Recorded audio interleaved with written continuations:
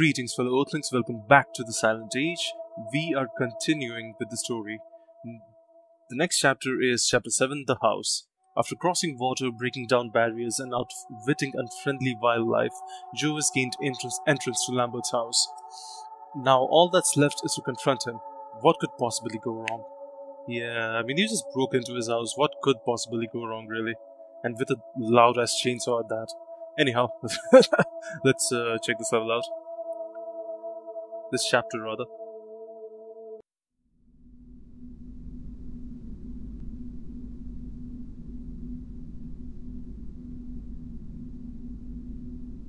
Abstract paintings all over. This is, uh, I think, one of those, uh, you know, MC Escher esque uh, designs inspired uh, by MC Escher's artwork. That geometric pattern there. Uh, what, what is presumably presumably liquor bottles there, and there's only one way to go, as far as I can tell. It's a lamp.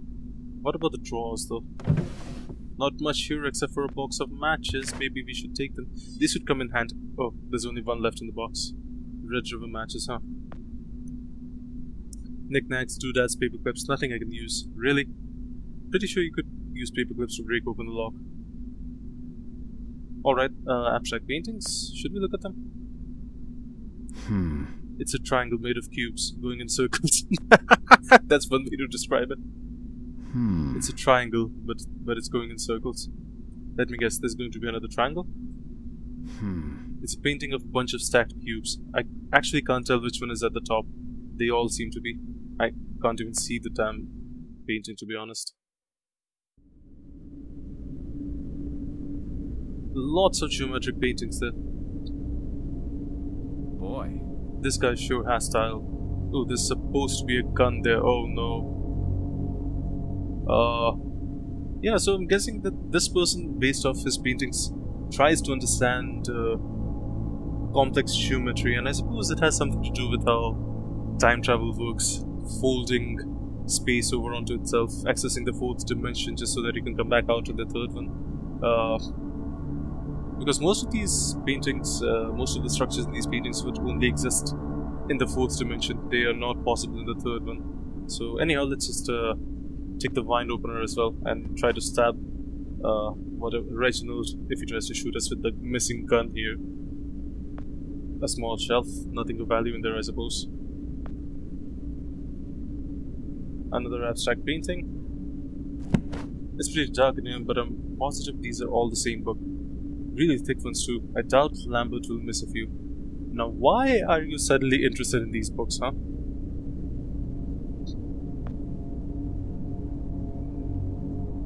Not a curve in it, but it's going in circles.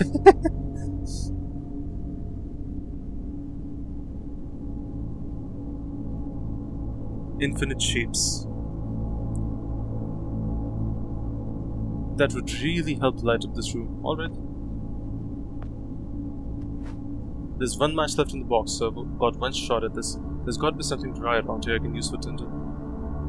What about the gun there? Looks like there used to be a rifle mounted here.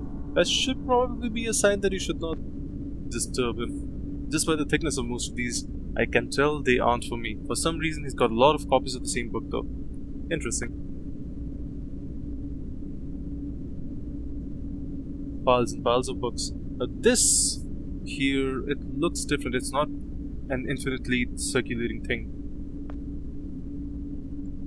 I can barely make it out, but it looks a lot like the other paintings in here. It's a grand piano. Still a piano. Hmm. I was hoping that this guy might play something, but uh, apparently not. Well, I suppose we can burn some of the books commit heresy, but uh, yeah, we can probably pull, burn some of the books to light the place up. Whoops. Yeah. Wow, these old books really did the trick. Fahrenheit 451, The Quest for Fire.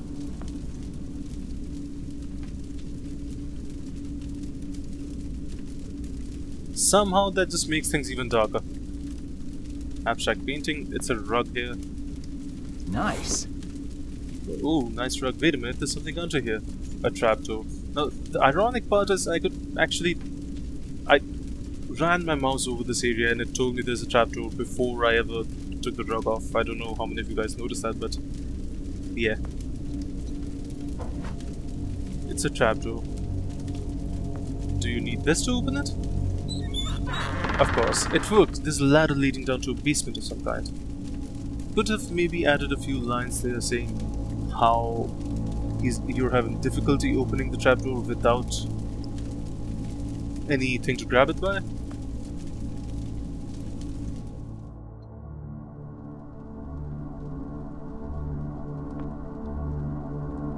Some wine shelves here.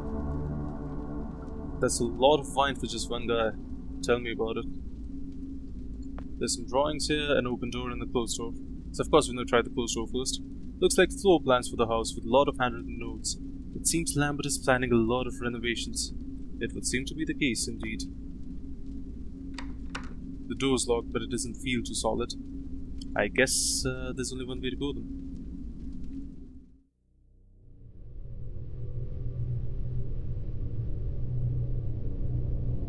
that might just be his first attempt at a time machine. A spherical contraption. I've never seen anything like this. It looks like a diving bell or a submarine. Blueprints. They're blueprints for a time machine. I don't exactly have an engineering degree, but it's just on the drawings. I was wondering how you could tell. Uh, it's just a regular desk lamp.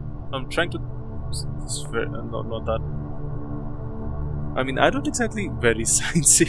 I don't exactly want to be demeaning to this guy, but yeah, it, it, it, was a genuine question. If you know nothing about engineering at all or uh, science, then how how can you just look at it and tell that it's a science? Uh, sorry, a time travel machine. I mean, uh, probably the same way that we guessed uh, based out of context, but yeah. I mean, especially when you look at the designs, Man, I've been in, in, this shop for too long. I can't even walk by a trash can anymore without checking if it needs emptying. oh man, that's that sounds like a jab at us. It's a tanning bulb. I guess even scientists want to look their best. Ah, I see. Hmm.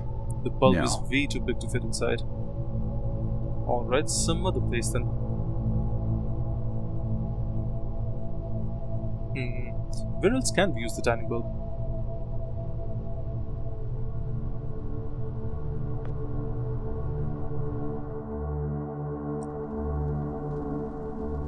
Uh, can't exactly use this here. How about someplace upstairs then? Could lead us somewhere. There seems to be a lamp here. The books are still burning we can't exactly access that lamp either. Starburst clock. Why is that room all orange? Orange like that? Ah, maybe with this lamp.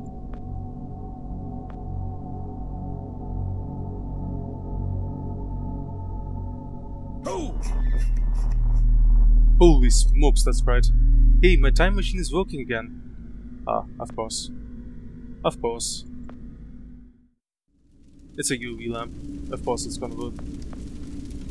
Why did I ever think that we would not be traveling to the future in this level? Pretty sure that whatever we have to do is down there. And... Uh, oh, there's another door there. Interesting. There's a door. Wait. Huh. This wasn't here before we have... Huh, this is a lot larger than I thought it would be. Ah, wait, it's one of those extinguishers that needs to be filled up with water first. I see. It's locked. And didn't this door used to be put? So did this door use... So, so it's the same for this door, honestly. There's enough food here to survive for a month, which is, I suppose, what he did. Hmm. Huh, it's all steel now. I guess Lambert did, did some work on the place. Hmm. There's a lock on it now. Of course there is. Alright, we'll head back upstairs then. Actually, I'm gonna get in there and check first.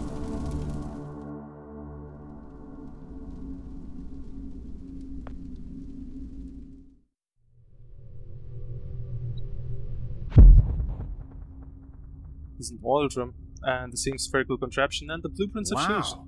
Wow, man, this is really something. According to those other blueprints, this was Lambert's first version of the time machine. It looks completely abandoned though. The Mark II. This drawing is really complicated, but the outline of it looks a lot like the time machine that I have. Floor plans. There's a bunch of drawing and floor plans of of a big building. Wait, I recognize this. It's my workplace. This is Archon. I see. I don't think we have ever uh, come across uh, this guy's book, workplace's name before. Oil drum. Got the lid off. It's full of oil. Considering how many times my life has depended on me holding on to stuff lately, the last thing I want is greasy hands. True. Uh, I guess?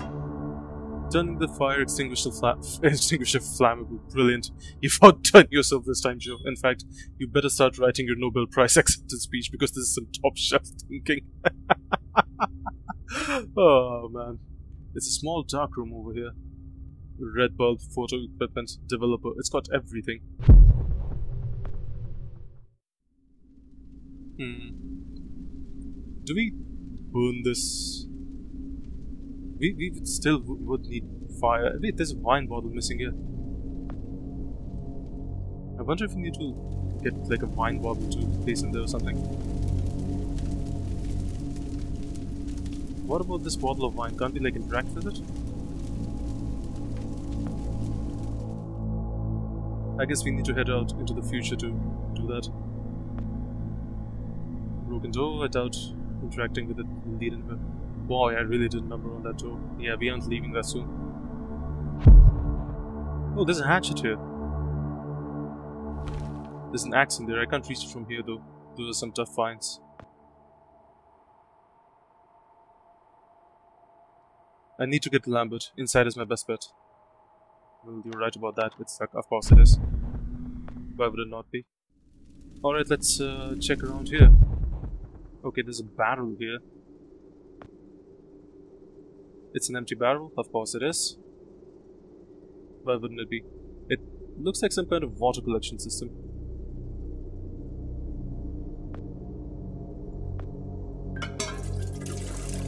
All filled up with water. So he did not actually put oil in it. I see. That's uh, sort of my bad. Vegetables. This must be how he survived for so long. Everything is dead at this point in time. Raised beds. Twig. A dry twig. I guess I've put Stranger Things to good use. Raised beds, raised beds, and uh, yeah, that's pretty much it. Trapdoor. Go on. I can't get a grip on it, of course you can't. Now, I wonder... Something seems off here. I... Let's try filling it with oil again and let's try spraying that damn thing with oil. Yeah, I just want to do that quickly. Before I take the fire extinguisher. If that barrel goes up in flames, it's going to make more than this puny thing to take more than this puny thing to put it out. Okay. Strange, I'm pretty sure this door used to be wood, it's all steel now. Maybe what we can do is take fire on this twig. Hmm, the fire isn't catching and need some way to make it a bit more flammable, I see. That's why the oil barrel is there. So, he was actually being sarcastic the first time around, I took him seriously.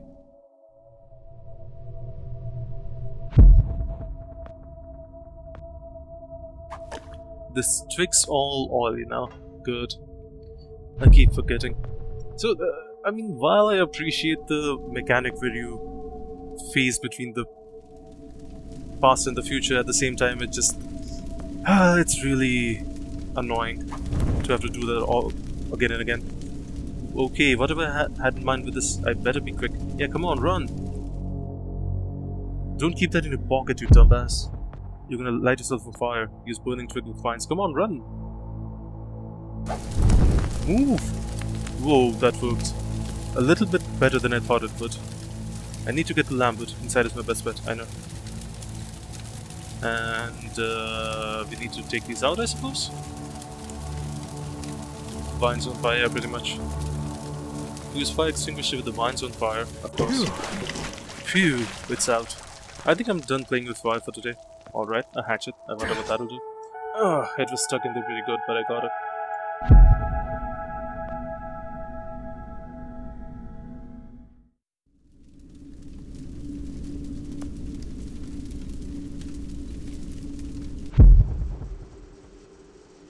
The thing is, the gun is gone from here now. So, anyway, I guess we use the hatchet to break down the other wooden door. Because what else can we use it with? Breaking and entering. More breaking and entering, I mean. Okay, there's an aquarium here. Shelves. Somebody's taking good care of this fish. Lambert has to be around here. Yeah, he's waiting with a gun. I'm no astronomer, but I'm, I'm pretty sure that the moon's up there. Lambert probably sleeps here. This bed is as hard as rock. It can't be good for a guy his age. oh, he's pretty young right now. It's a lava lamp. Man, I love these. Why the hell would I get a lava lamp here? Oh, that's a tinfoil hat. The same one that we saw in the elevator. There are a couple of notebooks in there. March 11, 1971, I prepared a logbook to document my progress. This is just in case something happens to me and someone else needs to continue my work. Uh, it's been just a month since I left Archon. From what little I've learned, they seem to be pushing ahead with more time travel trials despite all the setbacks. Fools, every last one. I see, so Archon is actually involved with this, no matter he was actually there. In the first place, there's also a globe there. That's a pretty neat globe. I wonder why we took the lava lamp though. Seems strange to just pick up the lava lamp. Yeah? At any rate, I do want to visit this. He's already got plenty of light. Visit this room in the future. Electrical socket there, and there's a bulb. Abstract painting. No matter how many times I walk those steps with my eyes, uh, they always end up in the same place. That's the idea. I'm guessing we need to put a lava lamp there. It's locked, of course it is. Huh. Whoa. Whoa. Oh, there's the wine bottle. Of course, that that's the one that's gonna work. It's weird. I don't think this bottle is made of glass. Even the cork seems painted on. Ah, that makes sense. I was wondering why it has to be this specific wine bottle and not the one that we found up there. But I suppose it makes sense now. Far out. Far out! There's a secret passage behind the shelves. You already knew that, didn't you? And there's Lambert with the gun. Stop right there! Whoa, whoa, wait. Uh, Mr. Lambert, sir, it's me, Joe. I don't know you. What are you doing in my house? You, you, you sent me here, remember? I've done no such thing. For an intruder, you're not very bright, you know that? For all the commotion you caused getting in here, you might as well have brought a bulldozer. now, you have exactly five seconds to explain what you're doing here, or so help me God, I'm pulling this trigger and sending you on your way. Five, I, I was sent here. four, By you. three, You told me to find you, to warn you about the end of the world. two. Y- you were old, uh, with white hair, and you got shot. Oh, God, please don't shoot me, Mr. Lambert. This, this, you gave me this. Uh, it's an inter something uh, chrono. It's a time machine. I gave you that? Yes! I've never seen anything like it. But on the back, that's my family signet. I made this? It's simply magnificent. I gave this to you? Why? Who are you? Name's Joe, sir. I, I'm, I'm just a janitor at the Archon building. I found you in a room with a big round door in the basement labs this morning, and you, you were dying. You said you'd come from 40 years in the future to stop the end of the world. I, I, I guess I was the only one around, so you gave me this and told me to find you and tell you all this, and I've been there. The future, I mean. A bunch of times. And you were right, Mr. Lambert. Everyone's gone. My God, so it did come to pass. They really did it, those greedy goddamn bastards. I told them this would happen. Wait, I was dying? How? You said you'd been shot. I had to actually find you at the, uh, uh, the morgue to get this address. Shot? By whom? No, wait. Don't say anything else. You succeeded in finding me, which means anything you tell me from this point on could alter the course of action that brought you to my doorstep. The less I know, the better. So, you've seen the future. What did you see? It's like a bad dream, sir. Everyone's gone.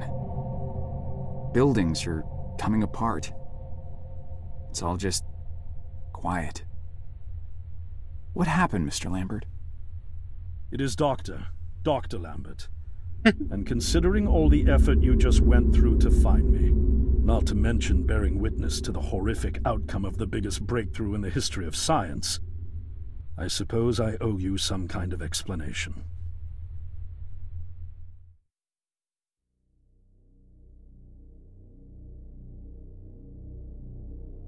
I was 24 when I got hired by Archon, or Athena as it was called back then. Athena was one of the many weapons R&D companies formed during the Second World War. Unlike other R&D companies that had retooled themselves to pursue peacetime activities after the war, Athena had made enough money to continue chasing the next big thing in defense technologies. They were betting the farm on post-war Soviet expansion raising the level of government paranoia to create a lucrative market for esoteric weapons research. I'd say they made the right bet. Still a theoretical physicist at MIT, my thesis on the possibility of time travel via dimensional membranes got published shortly after I was hired in 1961. Company heads were so impressed, they gave me a team and a budget. Development exceeded even my own expectations. And after only six years, we had the first primitive version of the time machine up and running.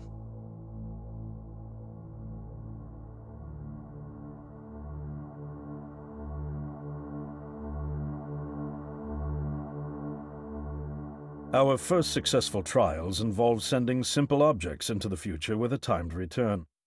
But with Archon running out of money, that was all the company bigwigs needed to secure a big fat contract with the Department of Defense.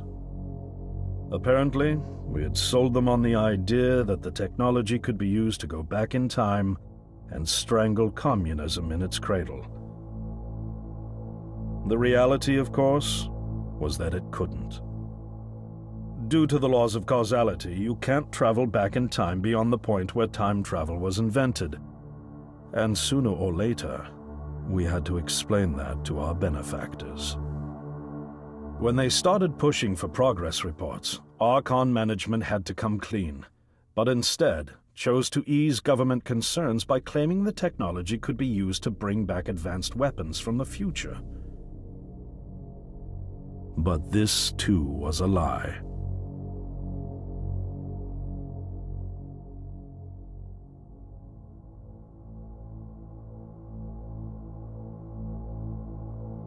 At this point, we'd already had our first of many human trials, and we knew there would be no weapons.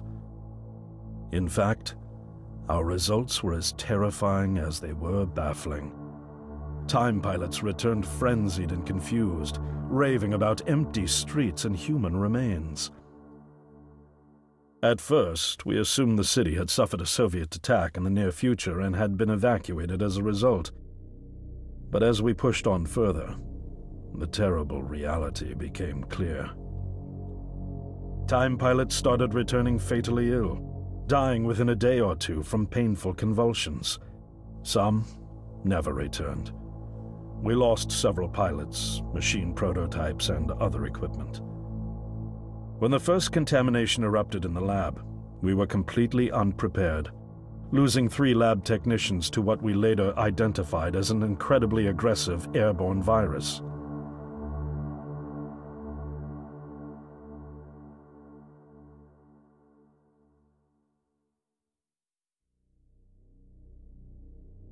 Although we weren't equipped to handle biohazards of this magnitude, management insisted we contain and study it. To keep our pilots and the virus alive long enough to study, we co-opted experimental cryotechnology from another project, Lazarus, and established a makeshift virus lab. Once again, the bigwigs managed to spin our setbacks into a success story for the Department of Defense, now claiming that the virus could be cultivated for use as a biological weapon. The team threatened to resign, but outrage was swiftly quenched by promises of massive salary increases and stock options.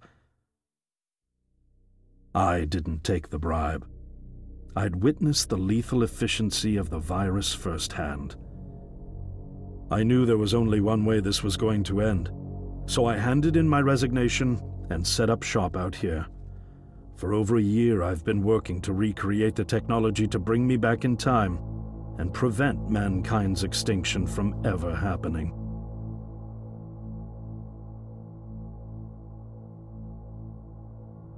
And now you're here, the harbinger of doom at my doorstep, wearing a boiler suit. Who could have imagined that Judgment Day would begin like any other Monday in May? In any case, unfathomable as it may be that you were able to bring this information to me, knowing is only half the battle. Preventing the outbreak will require more than just your tenacity. Me? Wait, what? Yes, I'm afraid I must rely on you one more time. You must go back to Archon and prevent the outbreak. No, no, that, that's, uh, I mean, I'm really honored and everything, but... Believe me, you're the last person in the world I want to entrust with this, and I mean that quite literally. But by this time tomorrow, the entire city will have succumbed to chaos, panic, and death. You're here now, and you're all I've got. Wait, but what about you? Can't you fix this, Doc? Don't you have a plan? I can't go myself, because that would break the law of causality. The only reason you are here to warn me now is because I was there to send you. And the only reason I was there to send you is because I was able to bring my work to fruition here. But... We've no time to waste. It's the only way. You told me you found me this morning, correct? Yes, but... That means I failed to stop it, and the outbreak has already begun. The time pilot for today's trial must have brought the virus back from the future which then somehow got out of the containment chamber and spread. That pilot is Patient Zero.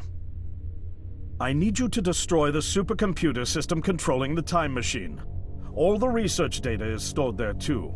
You must destroy it before the time machine departs. I'm reconfiguring your device to send you back one day earlier. This should allow you ample time to return to Archon and get inside. On the other shore from here, about 500 yards down the road, is a rest stop. You'll find a van there, fueled and ready to go. Oh, I already have a ride. Which won't be there yesterday, you ninny. Now stop interrupting me. One last thing, and I need you to listen carefully because this is very, very important. Make sure you do not meet the earlier version of you. Why? What will happen? No one knows for sure. It's one of the conundrums not yet accounted for. There are theories, of course. None of them pleasant. Now, let's get you ready.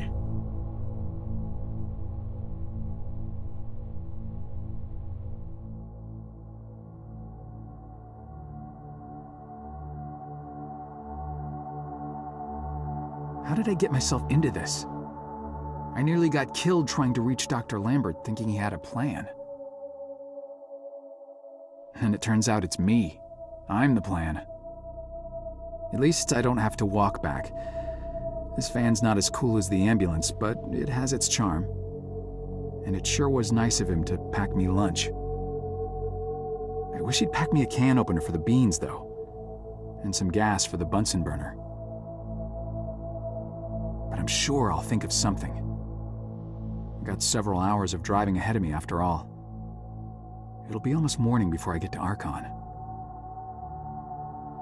I just hope I have enough time.